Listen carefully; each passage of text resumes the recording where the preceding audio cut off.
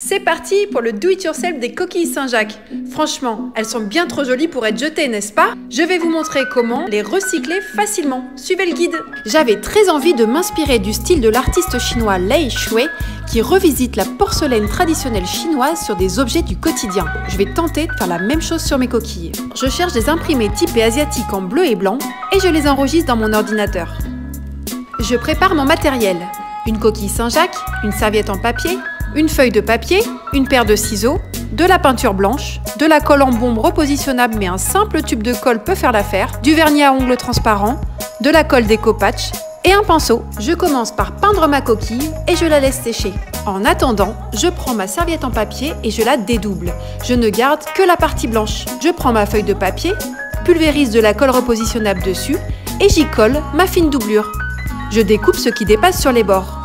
Direction l'imprimante et hop, j'imprime mon motif dessus. Je décolle mon papier imprimé et je le mets de côté. Retour auprès de ma coquille qui sèche. C'est trop long. Alors je triche, mais chut, faut pas le dire. Allez, je peins l'autre côté et je le fais à nouveau sécher.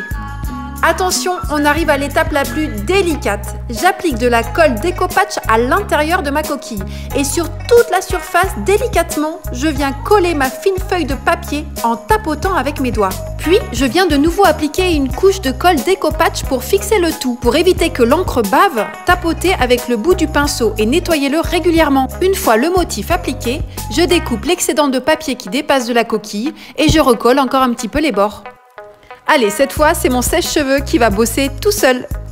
Une fois bien sec, j'applique une bonne couche de vernis à ongles sur l'intérieur et l'extérieur de la coquille pour lui donner la même brillance que la porcelaine. Bien sûr, vous pouvez décliner les motifs à l'infini en fonction de vos goûts et de vos envies je vais utiliser mes jolies coquilles customisées pour y déposer mes bijoux. Mais vous pouvez aussi y mettre des perles, du sel pour le bain et même faire de très jolies présentations de table avec. J'espère que ce do it vous a plu et vous a donné envie de faire de très jolies créations aussi.